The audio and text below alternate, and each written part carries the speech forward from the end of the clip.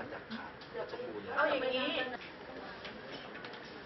เดี๋ยวเดี๋ยวเดี๋ยวเออก็ได้ดีกว่าดีไหมดีค่ะมันมันเป็นเอกสารเสริก็มมันไม่ได้เป็นอยู่ในข้อบังคับอันนี้มันครบแล้วใช่ไหมครับมาขอกันสักก้อนหน่อยเทป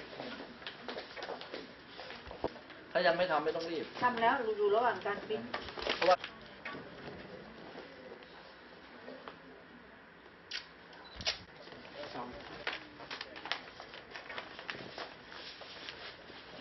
ถือ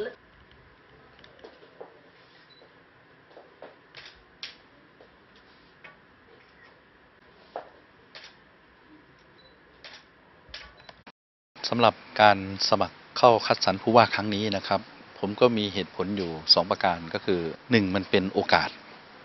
เขาเรียกว่าโอกาสแบบนี้ก็ไม่ค่อยจะมีบ่อยครั้งนัก ที่จะมาลงล็อก และถ้าลองสามลองก็สามคนนี้ก็มีคุณสมบัติครบ ก็ถือว่าเป็นโอกาส ครั้งนี้เนี่ยเป็นครั้งที่ดีมาก ๆ ที่ผมดีใจมากเลย ที่มีรองที่เป็นคนในสามรองได้ลงสมัคร นี่ก็เป็นการแสดงเจตนารมณ์ที่ชัดเจนว่า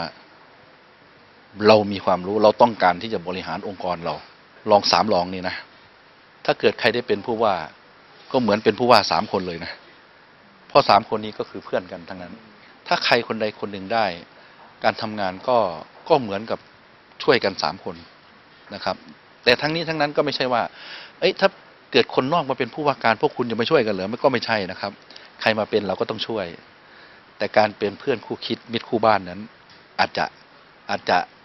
ยังไงล่ะเขาเรียกมันเหมือนใกล้ชิดมันเหมือนกับความสัมพันธ์กันนะเป็นลูกในบ้านเนี่ยนะความสัมพันธ์มันก็ก็น่าจะใกล้ชิดกว่านะครับ